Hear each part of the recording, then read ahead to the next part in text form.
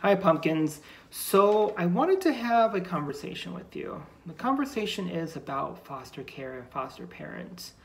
Um, you may or may not know, unless you follow me on my Instagram page, but I am a licensed foster parent. My husband and I have been foster parents for the past two years, and we've been married for the three years legally, but we've been together for 20 years.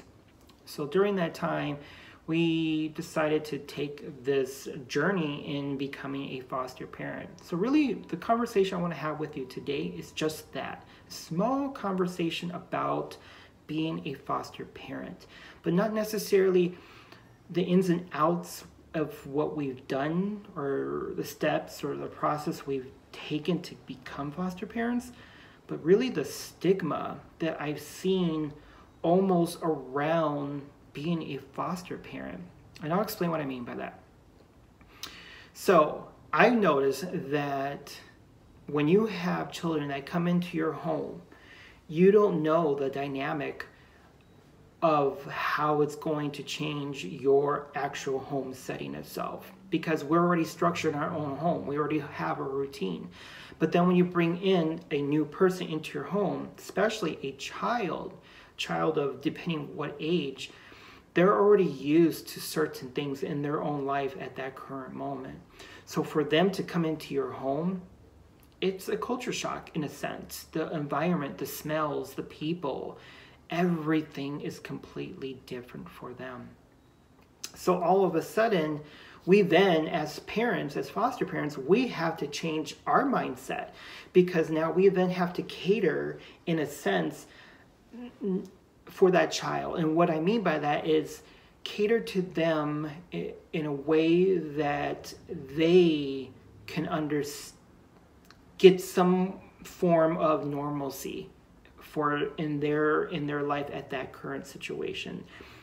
It doesn't mean it's going to happen, but you try to do your best as a foster parent. So again, let me go back to being what I see as being a stigma. What I mean by that is that I notice when I'm out in public and one of our children's misbehave, all of a sudden we get these stares and people look at us from a distance and they they kind of question like what's going on. I, I shouldn't say they question, but you get a sense of they're looking at you a particular way. And it isn't a way that you feel uncomfortable, but it is a way that you almost feel uncomfortable for them and for your child. And what I mean by that is that they don't know your child's personalities, what triggers they have. And what I mean what I mean by triggers is that things that they're remembering, episodes, visions, things for them that may be normal for us isn't necessarily something easy for them to process.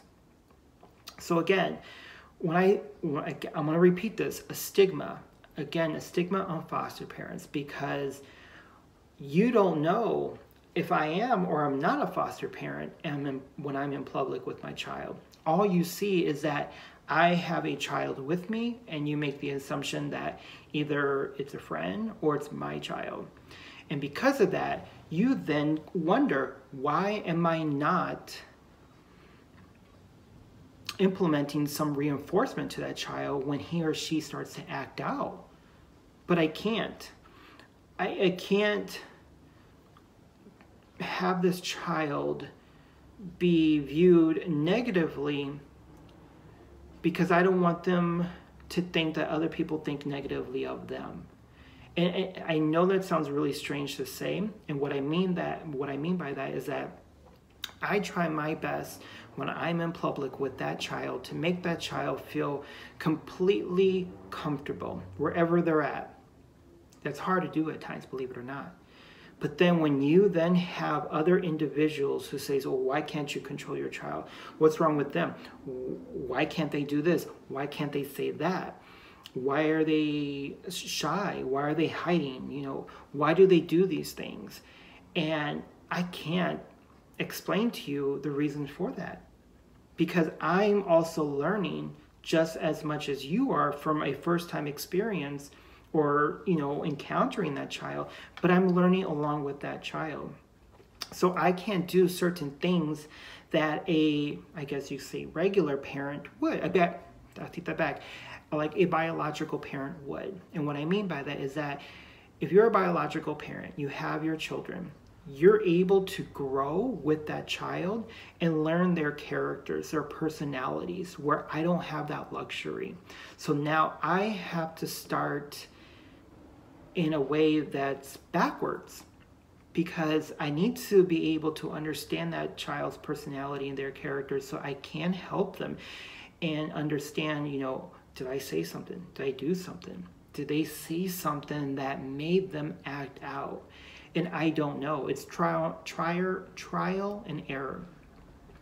So again, there's a stigma, like I said, I'm gonna keep using that. It's because all of a sudden, if I have to take off for work or change my work schedule around because now I have to then cater, not cater, but now I have to help that child during that time, or even if they're in daycare or they're in school, I still have to investigate, make appointments, you know, um, have phone conversations with case managers, people who work behind the scenes for our home.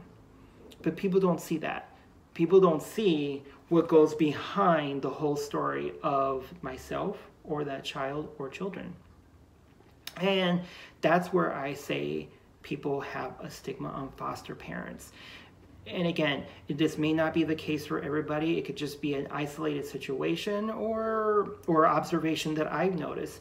But what I've seen is that for me, people will make the assumptions, well, why can't you do this? Why can't you do that? Well, I can't. It isn't that I don't want to, it's just I can't at that current time. And it's because my priorities have now changed. I have to then put that child before certain things. Unfortunately, it may I may not be able to go to work. I may not be able to do any social events.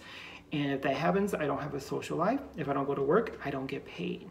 And that's just a reality because these are the things uh, I, I'm not blaming the child, but these are the responsibilities that I've taken and my spouse have taken upon ourselves to help that child.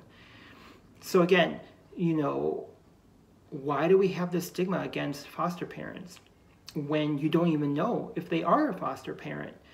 Because again, our approach to helping that child is going to be completely untraditional to another biological family member or parent. It will be.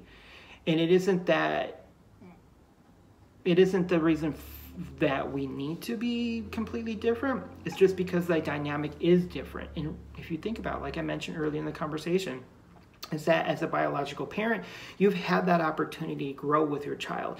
I have not. So I have to then change everything backwards to get to know that child. Just a thought. Maybe, maybe I'm overthinking this. Maybe I feel like everyone is having the stigma on me and my spouse or my family, but reality, maybe there isn't a stigma.